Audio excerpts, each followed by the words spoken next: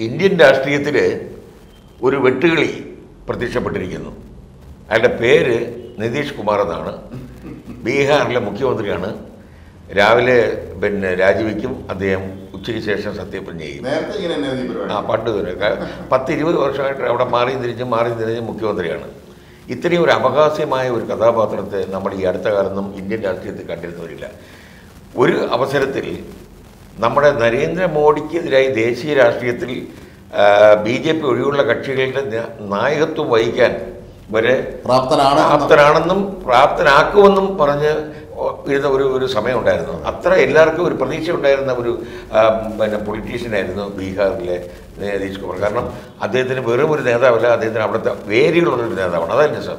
ലാലു പ്രസാദിനെ പോലെ തന്നെ അതിനേക്കാൾ അടുത്തട്ടിൽ വരെയുള്ള അടുത്തട്ടിൽ വേരുകളുള്ള ഒരാളായിരുന്നു. പിന്നെ നിതീഷ് കുമാർ. പക്ഷേ അദ്ദേഹം നേരത്തെ തന്നെ ഒരു കളി കളിച്ച് ബി ജെ പിക്കും ആയിരുന്നു. പിന്നെ അദ്ദേഹം ബി ജെ പിയിലേക്ക് പണ്ട് വന്നു. പിന്നെ വീണ്ടും ബി ജെ പിയിലേക്ക് സഖ്യം വന്നിട്ട് ബി ജെ പി ഒരു കണി ഒടുക്കാൻ നോക്കി. അത് സമർത്ഥമായി പുള്ളി നേരിട്ടു എന്നുള്ളതാണ് ഇപ്പോഴത്തെ വേറൊരു കാര്യം. കാരണം മഹാരാഷ്ട്ര മോഡലിൽ പിന്നെ പുലർത്തി കുറേ ആളുകൾ ഇവരുടെ കൂടെ കൊണ്ടുവന്നത് കാരണം ബീഹാറിൽ ഇപ്പോഴത്തെ കക്ഷി നില വെച്ച് കഴിഞ്ഞാൽ ഏറ്റവും വലിയ കക്ഷി ബി ജെ പി ആണ്. എന്നിട്ട് പോലും നിതീഷിനെ മുഖ്യമന്ത്രി സ്ഥാനം കൊടുത്തിട്ട് ബി ജെ അത് പി എൻ ഡി എ മുന്നണിയിലെ വലിയ കക്ഷി. മുന്നണി. ഏറ്റവും വലിയ കക്ഷി അവിടെ ലാലുവിന്റെ പാർട്ടിയാണ് അതെ. അതെ. അല്ല ഈ ഈ മുന്നണി ഇവരുടെ ഈ ഭരണ മുന്നണിയിലെ കക്ഷി. അപ്പോൾ അതൊക്കെ കണ്ടിട്ട് ബി ജെ പി ഒരു കളി കളിക്കാൻ വിചാരിച്ചു. മഹാരാഷ്ട്രയിലെ പിന്നെ നമ്മുടെ ആ സർക്കാരിനെ പിന്നെ പൊളിക്കാൻ വേണ്ടി ബി ജെ പി കാണിച്ച അടവ് ബീഹാറിലും കാണിക്കും എന്ന് ഏകദേശം അദ്ദേഹത്തിന് ഇന്റലിജൻസ് റിപ്പോർട്ട് കിട്ടി. അപ്പോഴാണ് അപകടം മനസ്സിലാക്കിയ നിതീഷ് കുമാർ ഒരു ചാട്ടം ചാടി. പക്ഷേ അത് ബി ജെ പി കേന്ദ്രങ്ങളെ പോലും അത്ഭുതപ്പെടുത്തിക്കൊണ്ടുള്ളതായിരുന്നു. അപ്പോൾ ശരിക്കും പറഞ്ഞാൽ ദേശീയ രാഷ്ട്രീയത്തിലെ ഈ നിതീഷ് കുമാറിന്റെ സ്ഥാനം ഇപ്പോൾ എങ്ങനെയാണ് നമ്മൾ വിലയിരുത്തേണ്ടത്? ഒരുപക്ഷെ അടുത്ത പ്രധാനമന്ത്രി സ്ഥാനാർത്ഥിയാവാൻ തയ്യാറെടുക്കുകയായിരിക്കും അദ്ദേഹം ഒരുപക്ഷെ. കാരണം പ്രതിപക്ഷ മുന്നണി യോജിക്കുകയാണെങ്കിൽ. കാരണം മമതയാണ് സാധാരണ ചൂണ്ടിക്കാട്ടിയിരുന്നെങ്കിൽ പോലും. ഇപ്പൊ മമതയുടെ മന്ത്രിസഭയിലെ പല അംഗങ്ങളെ കുറിച്ചുള്ള വ്യാപകമായ അഴിമതിയും പ്രശ്നങ്ങളും വന്നിട്ടുണ്ട്. മമത എല്ലാവരെയും യോജിച്ചു പോകുന്ന ഒരാളുമല്ല. മല- അദ്ദേഹം ആകുമ്പോൾ കുറച്ചും കൂടെ ഫ്ലെക്സിബിൾ ആണ്.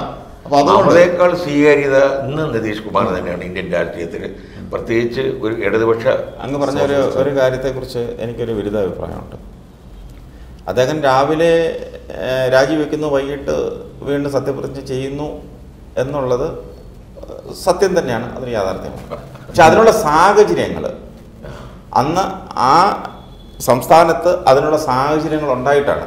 ഇപ്പം അദ്ദേഹത്തിന്റെ കസേര ഇളകും അദ്ദേഹത്തെ മറിച്ചിട്ടിട്ട് അടുത്ത അദ്ദേഹത്തെ നോക്കുകുത്തിയായി ഒരിടത്ത് ഇരുത്തിക്കൊണ്ട് അദ്ദേഹത്തിന്റെ കൂടെ നിന്ന അദ്ദേഹത്തിന്റെ വിശ്വസ്തനായിരുന്ന. ആർ സി പി സിംഗ് അല്ലേ? അതെ.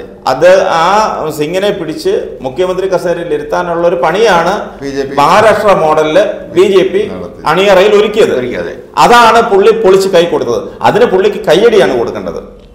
കാരണം ഞാനിത് വേറെ കാര്യം കൊണ്ടുണ്ട് വേറെ കാര്യം വേറെ കാര്യമുണ്ട് പുള്ളി ഒരു രാഷ്ട്രീയ ചാണക്യൻ ഒരു തന്ത്രജ്ഞൻ ചാണക്യൻ എന്നിങ്ങനെ പല വിശേഷണങ്ങളും നമുക്ക് കൊടുക്കാൻ സാധിക്കും. അദ്ദേഹം അദ്ദേഹം ഒരു കറകളഞ്ഞ ഒരു സോഷ്യലിസ്റ്റ് നേതാവാണ്.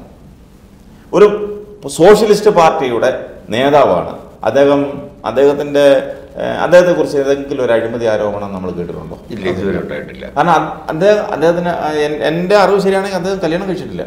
അവിവാഹിതനാണ്. അതെയോ? ആ. ഓ. അദ്ദേഹം അവിവാഹിതനാണ്. അല്ല? അപ്പൊ പിന്നെ കുറെ കൂടി മെച്ചമായിരിക്കും അത് നമ്മുടെ പിന്നെ ഇദ്ദേഹത്തെ പോലെ നവീൻ പട്നായിക്കിനെ പോലെ. അപ്പൊ അദ്ദേഹം- തീർച്ചയായിട്ടും ഈ സോഷ്യലിസ്റ്റുകാർ കൂടുതലും കല്യാണം കഴിക്കാത്ത ഒരുപാട് നമ്മുടെ കേരളത്തിൽ തന്നെ നമ്മുടെ എത്ര നേതാക്കന്മാരുണ്ട് കല്യാണം കഴിക്കാത്ത വിശ്വംബര സാറ് പിന്നെ നമ്മുടെ ഇദ്ദേഹം ചന്ദ്രശേഖരൻ കെ ചന്ദ്രശേഖരൻ, പിന്നെ അങ്ങനെ പല ആളുകളുണ്ട്. ഭാര്യയുണ്ട്? മക്കളില്ലെന്നേ ഉള്ളൂ. കുട്ടികളില്ലാതെ കുട്ടികളില്ലെന്നേ ഉള്ളൂ. ആ നളിനി നടത്തി അതെ. പിന്നെ ഗൈനക്കോളജിസ്റ്റ് ആയിരുന്നല്ലോ അപ്പൊ ഈ അടുത്ത മക്കളെ സമയത്ത് കുറിച്ചൊന്നും കേട്ടിട്ടില്ല. അതുകൊണ്ടാണ്. വിചാരിച്ചത്. ആ അദ്ദേഹം ആം, ആം, അദ്ദേഹത്തിന്റെ ഭാര്യ ഈ കാര്യത്തിലൊക്കെ വളരെ പ്രൊഫൈൽ വളരെ രീതിയിലാണല്ലോ പുള്ളി. ഒരിക്കലും ആരെയും നിതീഷ് കുമാറിനെ സംബന്ധിച്ച് ജെ പിയുടെ ജയപ്രകാശ് നാരായണന്റെ ആ പരമ്പരയിൽപ്പെട്ട ആ ശിഷ്യനാണ് പുള്ളി. അത് ജയപ്രകാശ് നാരായണന്റെ ശിഷ്യനാണ് അദ്ദേഹം അന്നും ഇന്നും ഒരു സോഷ്യലിസ്റ്റ് ആണ്. പുള്ളിക്ക് വലിയ ആഡംബരമൊന്നുമില്ല. പുള്ളി ഒരു ഒരു സാധാരണ സാധാരണ ജീവിതം അതൊക്കെ സംബന്ധിച്ചു പക്ഷെ ബി ജെ പിയിലേക്ക് പോയ സമയത്ത് തന്നെ അദ്ദേഹത്തെ മറ്റുള്ളവർ മനസ്സിലാക്കിയിരുന്നു. ഇത് തീക്കളിയാണ് നിങ്ങൾക്ക് പറ്റിയതല്ല സോഷ്യലിസ്റ്റായ ഒരാൾ ചെന്ന് ബി ജെ പിയോട് പോകരുത്. അവിടുത്തെ അവിടുത്തെ രാഷ്ട്രീയ അന്തരീക്ഷം അതിന് പിന്നെ അതുകൊണ്ടാണ് പുള്ളി അത് പോയത്. ദേശീയ രാഷ്ട്രീയം അല്ല പുള്ളി നോക്കിയത്. പുള്ളി നോക്കിയത് ബീഹാറിലെ കക്ഷിയുടെ പിന്നെ അവിടുത്തെ രാഷ്ട്രീയ സാഹചര്യമാണ് പുള്ളി നോക്കി ബി ജെ പിയോടൊപ്പം അദ്ദേഹം കൂട്ടുകയാണ്. എന്നിട്ടും ബി ജെയുടെ ബി ജെ പിയോടൊപ്പം പോയിട്ടും വളരെ പുള്ളിയുടെ ആദർശത്തിന് വിരുദ്ധമായി പുള്ളി ഒന്നും ചെയ്തിട്ടില്ല. ബി ജെ പി സപ്പോർട്ട് ചെയ്തതേ ഉള്ളൂ. ബി ജെ പി അങ്ങനെ സപ്പോർട്ട് നിന്നെങ്കിൽ സപ്പോർട്ട് ചെയ്തുവെങ്കിലും പല ബി ജെ പിയുടെ പല കാര്യങ്ങളിലും പുള്ളി എതിർപ്പായിരുന്നു. പുള്ളി എതിർപ്പായിരുന്നു പുള്ളി പരസ്യമായിട്ട് എതിർപ്പായിരുന്നു. ഉണ്ടായിരുന്നില്ല ആ സ്പീക്കർ സ്പീക്കർ. അദ്ദേഹം നിരന്തരമായി ശല്യപ്പെടുത്തുകയായിരുന്നു. പ്രശ്നമായിരുന്നു അത്. അത് നമ്മൾ അവിടെ കാണേണ്ടത് നിതീഷ് കുമാറിനെ പോലെയുള്ള ഒരു സോഷ്യലിസ്റ്റ് നേതാവ് രാജ്യത്തിന് ഇനി പുതിയ ഒരു യുഗം പിറവിയെടുക്കുകയാണെങ്കിൽ അദ്ദേഹത്തിന്റെ നേതൃത്വത്തിൽ അത് ഉറപ്പായിട്ട് ഉണ്ടാവണം എന്ന് ആഗ്രഹിക്കുന്ന ജനങ്ങളാണ്. ഇത് പ്രതിപക്ഷ കക്ഷികൾക്ക് ഒരു പിന്നെ ഉത്തേജനം മാത്രമല്ല പ്രതിപക്ഷ കക്ഷികൾക്ക് ഒരു പ്രതീക്ഷ കൂടിയാണ്. ഇത് ഇതൊരു ഇത് ഒന്നിച്ച് നിന്നാൽ മറ്റൊരു മറ്റു കാര്യങ്ങളുണ്ട് ഒന്നിച്ച് നിന്നാൽ ബി ജെ പിയെ തറ പറ്റിക്കാം ബി ജെ പിക്ക് അടി കൊടുക്കാം അടിച്ച് താഴെയിടാം എന്നുള്ളൊരു മഹാസന്ദേശം ഇതുമൂലമുണ്ട്. അപ്പൊ ഇരുപത്തിനാലിലെ തെരഞ്ഞെടുപ്പിൽ. മോഡിക്ക് നേർക്ക് നേർ ഒരു ദേശീയ നേതാവ് എന്നുള്ള തലത്തിൽ നിതീഷ് കുമാറിനെ ഇവർ പ്രൊജക്ട് ചെയ്ത് മുന്നേ നിർത്തുമ്പോൾ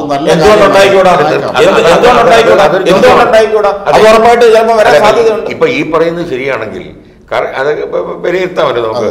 അങ്ങനെയാണെങ്കിൽ തീർച്ചയായിട്ടും മമതയെക്കാൾ എത്രയോ മുന്നിലാണ് പിന്നെ തീർച്ചയായിട്ടും നിതീഷ് കുമാർ. ആ. അപ്പൊ അതുകൊണ്ട് തീർച്ചയായിട്ടും നിതീഷ് കുമാറിന്റെ ഈ ചാട്ടം എനിക്ക് തോന്നുന്നു നിതീഷ് കുമാറിനെ ഇന്ത്യൻ പൊളിറ്റിക്സിലെ പ്രതിപക്ഷ കക്ഷികളെല്ലാം അംഗീകരിക്കും. എന്നുള്ള ഒരു ഒരു സാഹചര്യമാണ് ഇപ്പൊ ആരും ഇതുവരെ നിതീഷ് കുമാർ എതിർത്ത് പറഞ്ഞിട്ടില്ല. കൂടി തള്ളി പറഞ്ഞത് അങ്ങയുടെ പഴയ പിന്നെ മോലാളി മാത്രമേ ഉള്ളൂ വീരേന്ദ്രകുമാർ സാറേ ഉള്ളൂ തള്ളി പറഞ്ഞു പോയത്. അതുകൊണ്ട് അദ്ദേഹം പറഞ്ഞല്ലോ ഇവിടെ സംസ്ഥാന രാഷ്ട്രീയമാണ് ഞാൻ ഇവിടെ വേറെ കാര്യമുള്ളത്. ഇനിയിപ്പോ അടുത്ത് രണ്ടായിരത്തി ഇരുപത്തിനാല് ഇലക്ഷൻ കഴിയുമ്പോൾ അന്ന് ഒരു പക്ഷേ ഇത്തരത്തിലൊരു അവസ്ഥ വന്നാലും കോൺഗ്രസിന് ബാർഗെയിൻ ചെയ്യാനുള്ള ആരോഗ്യമില്ല. അതില്ല. ഞാൻ സ്വതന്ത്ര സ്ഥാനം അതെ, ഇതിനകത്ത് വലിയൊരു സംഭവമുണ്ട്. ഇതിന്റെ ഇടയിൽ നിന്ന് കളിച്ചത് കോൺഗ്രസ് ആണ്. സോണിയാഗാന്ധിയാണ്. അതെ. ഈ പിന്നെ പുറത്ത് അതെ, അതെ, അതെ. അത് അവർ ആ കാണിച്ചത് ഒരു മിടുക്ക് തന്നെയാണ്. സോണിയാഗാന്ധിയുടെ അവസാനത്തെ സമ്മതം കൂടി വാങ്ങിച്ചതിന് ശേഷമാണ് നിതീഷ് തീരുമാനമെടുത്തത്. അല്ല, ഇല്ലെങ്കിൽ ഇല്ലെങ്കിൽ പുറത്ത് വന്നു കഴിഞ്ഞാൽ അവസാനം അതുമില്ല അല്ല. അപ്പൊ അല്ല സോണിയാഗാന്ധിക്ക് ഇതിന്റെ അപകടം അറിയാം. അറിയാം. ഇപ്പൊ തന്നെ അവർക്ക് ഇഡിയുടെ പരാതിയിൽ നിന്ന് ഇറങ്ങാൻ സമയമില്ല. അപ്പം അപ്പൊ അതുകൊണ്ട് എങ്ങനെയെങ്കിലും ഇതിനെ ഇതിനൊന്ന് തുറഞ്ഞു കാണണമെന്ന് ആഗ്രഹിക്കുന്ന ഒരിടത്തെങ്കിലും അതെ. ഏതാ ഒരു ചെറിയ ഏതാ ഹിമപാളിയുടെ ഏതെങ്കിലും ഒരു അംശമെങ്കിലും ഒരു ഒരു പാളിയെങ്കിലും ഇളക്കി കളയാൻ പറ്റുമെങ്കിൽ അത്രയും നല്ലതെന്ന് വിചാരിക്കുന്ന ഒരു മാഡമാണ് നമ്മുടെ സോണിയ. അപ്പൊ തീർച്ചയായിട്ടും അവരത് ചെയ്തില്ലെങ്കിൽ മാത്രമേ അനുഭവമുള്ളൂ ഈ നാളെ ഭരണം കിട്ടിയില്ലെങ്കിൽ പോലെ ശക്തമായ ഒരു അത് നേരിടാമല്ലോ. ഇവിടുത്തെ ഇപ്പൊ ഈ ഏക ഇത് ഇത് നേരത്തെ ആയിരുന്നെങ്കിലേ ആ. രാഷ്ട്രപതി തെരഞ്ഞെടുപ്പിനകത്ത് ചെറിയ വ്യത്യാസം വന്നു ഒന്ന് പേടിച്ചേനെ. ഒന്ന്. ഉറപ്പായിട്ട് അവരെ പേടിപ്പിക്കാൻ സാധിച്ചേനെ. സാധിച്ചില്ല അവർക്ക് ഭൂരിപക്ഷം ഉണ്ട്. എങ്കിൽ പോലും ഒരു പേടി ഉണ്ടാവുമായിരുന്നു? മറ്റത് വളരെ ഈസി വാക്കോവറായി പോയി പിന്നെ രണ്ടാമത്തെ കാര്യം ഈ ഇവിടെ എന്തുകൊണ്ടാണ് മോഡി ചില തീരുമാനങ്ങൾ ഏകപക്ഷീയമായി അല്ലെങ്കിൽ ഒരു ഏകാധിപത്യ രീതിയിൽ എടുക്കുന്നത്? കാരണം അദ്ദേഹത്തിന് അറിയാം ഇവിടെ ഒരു പ്രതിപക്ഷമില്ല ഇല്ല. അദ്ദേഹത്തിനെ എതിർക്കാൻ കഴിവുള്ള ആരും ഒരു നേതാവ് പോലും ഇല്ല. ഇന്ന രീതിയിൽ നിങ്ങൾ എന്ന് പറഞ്ഞ് മുഖത്ത് ചൂണ്ടിക്കാണിച്ച് ചൂണ്ടി സംസാരിക്കാൻ ഇന്ന് ഇന്ത്യയിൽ ഒരു പ്രതിപക്ഷം അദ്ദേഹത്തിന് ഇല്ല. രാജാവ് നഗ്നനാണെന്ന് വിളിച്ചു പറയാൻ ഇവിടെ ആംബിയറുള്ള ആരുണ്ട്? ആരുമില്ല അതെ, അതുകൊണ്ടാണ് ഇപ്പൊ ഇന്ധന വില ഇതിന് വേറൊരു വേറൊരു കാര്യമുണ്ട്. നിതീഷ് കുമാർ ഒരു ചെറിയ മീനല്ല. അതെ. അദ്ദേഹത്തിന് ചില കാര്യങ്ങൾ അറിയാം തീർച്ചയായിട്ടും. മാത്രമല്ല ഈ ഈ പറഞ്ഞല്ലോ ഇപ്പം പിന്നെ അങ്ങ് പറഞ്ഞതുപോലെ മറ്റ് സ്റ്റേറ്റുകളിൽ ഇപ്പം ബി ജെ പിയെ സപ്പോർട്ട് ചെയ്യുന്ന അല്ലെങ്കിൽ ബി ജെ പി സപ്പോർട്ട് ചെയ്യുന്ന ചില സ്റ്റേറ്റുകളിൽ ഇതൊരു ഇതൊരു വഴിത്തിരിവാകാൻ സാധ്യതയുണ്ട്. മെസ്സേജാണ് മറ്റുള്ളവർക്കെല്ലാം. കാരണം പിന്നെ ഞങ്ങൾ ഒറ്റക്കെട്ടാണ് എന്ന് അവർ തെളിയിക്കണം. തെളിയിച്ചാലേ ഇവർ നിൽക്കൂ. ഇപ്പൊ തന്നെ തെലങ്കാനയിൽ തെലങ്കാനയിലെ രാഷ്ട്രപതി തെരഞ്ഞെടുപ്പിൽ അപ്പുറത്ത് പോയി അവർ. അപ്പൊ ഇത് പ്രതിപക്ഷം ഒരു സംഘടിത ശക്തിയാണ് അവർ പ്രതിപക്ഷം ഒരുമിച്ച് നിന്നാൽ പണ്ട് പിന്നെ ജനതാ പ്രസ്ഥാനങ്ങളെല്ലാം കൂടെ ഒരുമിച്ച് നിന്നല്ലേ വി പി സിംഗും അവരൊക്കെ വന്നത് കോൺഗ്രസിന് ബദലായിട്ട് വന്നത് അതെ. അപ്പൊ എന്ന് പറഞ്ഞതുപോലെ ഇതൊരു പ്രതിപക്ഷങ്ങളെല്ലാം ഒന്നിച്ചു നിന്നാൽ അതൊരു സ്കോപ്പുണ്ട് ഒരു സാധ്യതയുണ്ട്. അതിന് ഒരു ഒരു ഒരു സാധ്യതയുണ്ട്, ഒരു മുന്നറിയിപ്പാണ് ഈ അത് മൊത്തം അതിന് ചെയ്യാവുന്ന കാര്യം കോൺഗ്രസ് പരസ്യമായി മുൻകൈ എടുത്തിട്ട് രാഹുൽ ഗാന്ധി അല്ല പ്രധാനമന്ത്രി. നിതീഷ് കുമാർ ആയിരിക്കും ഞങ്ങളുടെ പ്രധാനമന്ത്രി അതെ. കാണിക്കുന്നത്. കുറച്ചുകൂടെ കുറച്ചുകൂടെ സപ്പോർട്ട് വരും. അതാണ് വേണ്ടത്. അങ്ങനെ ഒരു മഹാമനസ്കത കോൺഗ്രസ് കാണിക്കുമെങ്കിൽ. അത് കാണിക്കുമെങ്കിൽ പ്രതിപക്ഷത്തിന്റെ കാൽക്കുലേഷൻ എല്ലാം വേണ്ടി വേണ്ടി എന്നാൽ തൽക്കാലം പണ്ടിൽ ചൗത്താലെ ഇരുത്തിയതുപോലെ വേണമെങ്കിൽ ഉപപ്രധാനമന്ത്രിയായിട്ട് വേണമെങ്കിൽ ഇരുത്താം. അതെ. അല്ല അത് അങ്ങനെ ഒരു മഹാമനസ്കത കോൺഗ്രസ് കാണിക്കണം. കാണിക്കുകയാണെങ്കിൽ തീർച്ചയായിട്ടും ഇന്ത്യൻ ജനതയും ചിലപ്പോൾ അത് അംഗീകരിച്ചു അതാണ് അവിടെ. കാരണം മറ്റത് ഇപ്പൊ ഇവർ തമ്മിലടിയല്ലേ? ഈ ഇരുപത്തിനാല് കക്ഷികളുണ്ടെങ്കിൽ ഇരുപത്തഞ്ച് അഭിപ്രായമായിട്ട് അഭിപ്രായം. പോയി കഴിഞ്ഞാൽ ഒന്നും നടക്കില്ല. പക്ഷേ ഇപ്പൊ അവർക്ക് എല്ലാവർക്കും മനസ്സിലായി.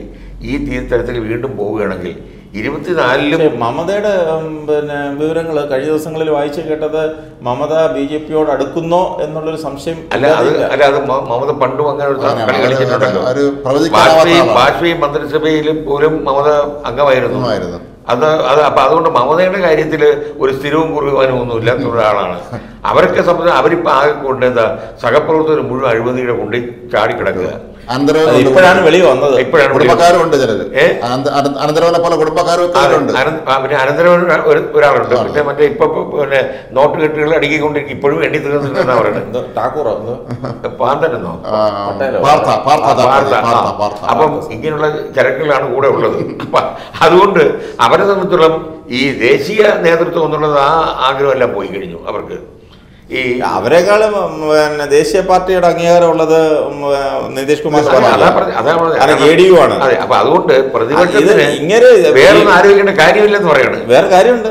ഇങ്ങനെ പോയാൽ പ്രതിപക്ഷത്ത് അദ്ദേഹം വന്നു. ബി ജെ പി ആയിട്ടുള്ള മുന്നണിയൊക്കെ വിട്ട് പുള്ളി ഒരു പിന്നെ പ്രതിപക്ഷ ഐക്യത്തിന്റെ മുന്നിൽ വന്നാൽ കേരളത്തിൽ എൽ ജെ ഡി എന്നുള്ളത് ജെ ഡി യു ആയിട്ട് പഴയതുപോലെ ചിലപ്പോൾ മാറി ശ്രേംകുമാറിന്റെ പാർട്ടിക്ക് വേണമെങ്കിൽ മാറി അവരുമായിട്ട് ഒന്നിച്ച് നിൽക്കാൻ പറ്റും. പറ്റും. അവർ ചർച്ച നടത്തിക്കൊണ്ടിരിക്കുകയല്ലേ? ഒന്നാകാൻ പോവുകയല്ലേ ജെ ഡി എസ് ആയിട്ടോ? അല്ല നടക്കത്തില്ല. അതല്ലേ ആ അങ്ങനെ ചർച്ച ഇല്ല ഇല്ല J D J D J D S ആയിട്ട് എൽ ജെ ഡി ലേക്കാൻ സാധ്യത കുറവാണ്. എന്തായാലും കോൺഗ്രസ് മുൻകൈ എടുത്ത് നിതീഷ് കുമാറാണ് ഞങ്ങളുടെ പ്രധാനമന്ത്രി സ്ഥാനത്ത് പ്രഖ്യാപിക്കുന്നതാണ് ഏറ്റവും ഉചിതമായ ഇന്ത്യൻ- രാഷ്ട്രീയത്തിൽ ഒരു. ഉണ്ടാക്കാൻ കഴിയും. അതാണ് നല്ലതെന്ന് കോൺഗ്രസിനും മനസ്സിലാക്കണം അല്ലേ? അതെ.